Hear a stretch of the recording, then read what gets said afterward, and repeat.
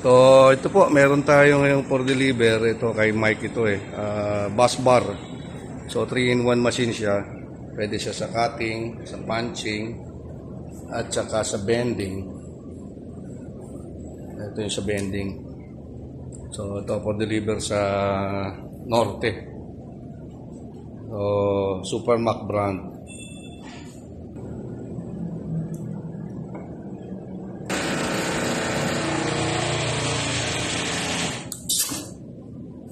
So, ito test natin ngayon. Siya ay nasa cutting. So, ito yan. So, pack foot pedal. So, dyan ipapasok nyo yung bus bar. Kakat siya. Okay.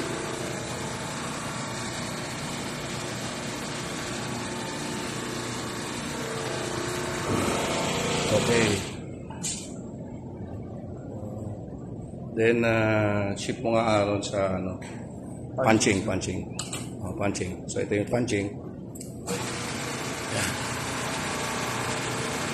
So, dyan yung sasalang yung inyong uh, materyales, bubutasin yan. Depende doon sa size ng inyong, uh, or diameter ng inyong bubutasan. Ano? So. Punching. Then, yung isa, isa, bending. So, ito, sa bending naman ito, ano? Ayan. O, dyan yung sasalang din, yung bus bar niya, pag gusto nyo bend, yan. Okay, ayan yung bida, ayan yung top tool. Okay?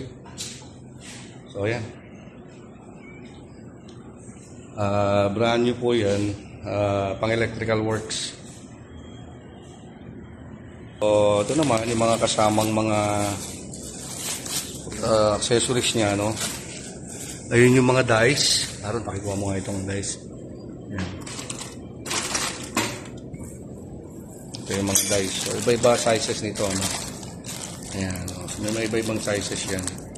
Ah, standard para doon sa inyong uh, bus bar. So, yun po.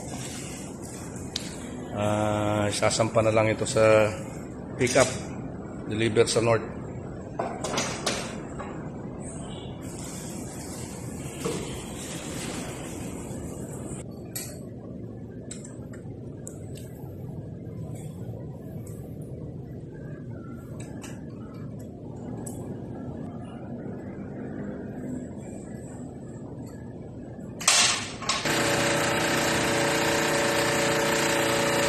Okay. Tapos ah, sa punching, aron. Ship sa punching. Okay. Tira.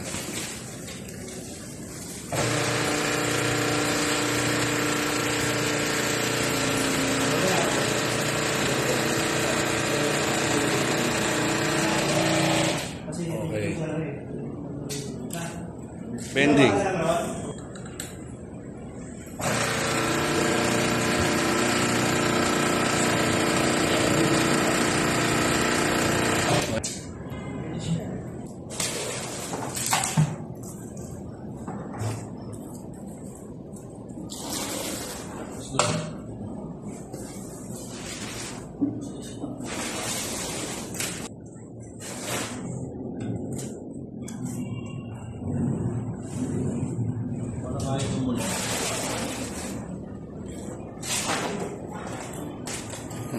Brand new. Brand. Super Mac.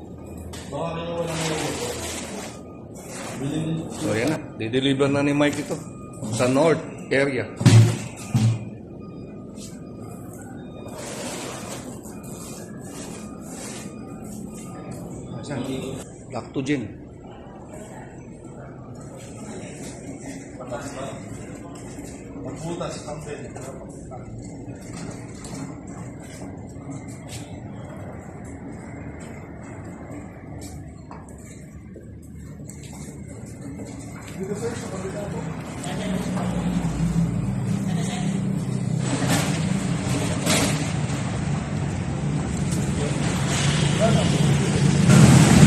Tayo.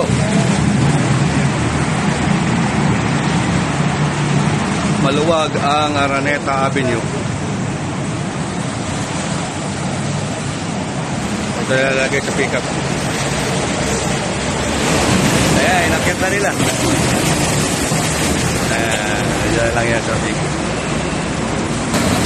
dyan lang. Delivery ni Mike sa Norte.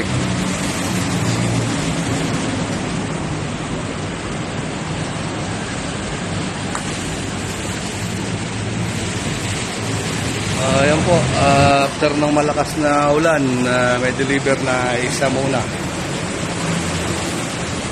Salamat po sa inyong panonood. Ito ang resulta ng ano after ng malakas na ulan. Ayan, maluwag naman.